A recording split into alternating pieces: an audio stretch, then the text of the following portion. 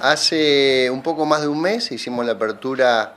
eh, del llamado licitación en las grutas, donde nos acompañó la gobernadora, que fue quien tomó la decisión política de, hacer esta primera etapa. Este, la definimos como primera etapa porque bueno, se trata de seis cuadras, este, más una rotonda, este, de la avenida Río Negro de las Grutas, una, la avenida principal de las Grutas, que es también el ingreso principal este, tanto del acceso norte como desde el acceso sur. Bueno, ese pavimento tiene muchos años, tiene un deterioro importante, así que en este caso, este, una obra de cinco meses,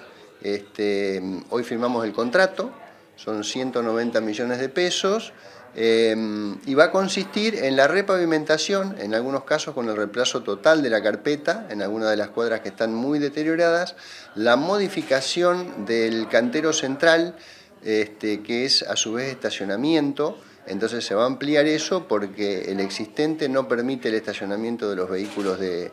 deporte, como eh, por, ejemplo las grandes camionetas. Este, entonces eso se va a mejorar, se va a mejorar todo lo que es el escurrimiento de aguas, se va a mejorar y se van a corregir los niveles que están este, en este momento mal, eh, se van a hacer nuevos badenes, nuevos cordones cunetas, eh, rampas de acceso para las personas con movilidad reducida y la obra va a culminar con la señalización este, correspondiente. Bueno, el municipio va a cumplir una importante tarea. El proyecto y el llamado lo hizo Vialidad Rionegrina, este, con el aporte del municipio que también va a colaborar en el intercambio con los vecinos. Este, la experiencia que tenemos en este tipo de obras, que no son viales, sino que son este, obras urbanas, eh, indica que tiene que haber un contacto permanente entre el municipio, la empresa y el vecino. O sea que el municipio va a ser el nexo este, para tomar y comunicar a su vez cómo va a ser el avance de la obra en el día a día y cualquier inconveniente que surja va a haber un responsable que lo va a designar el intendente. Cuando charlamos con la gobernadora, a quien le quiero agradecer enormemente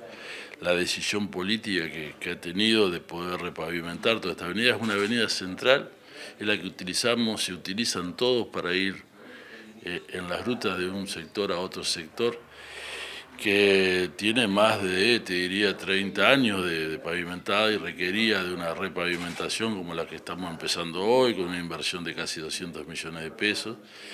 Hubo que hacer todo un trabajo anterior muy importante, de planos, por los pluviales, con ARSA, por también las conexiones de agua, así que bueno,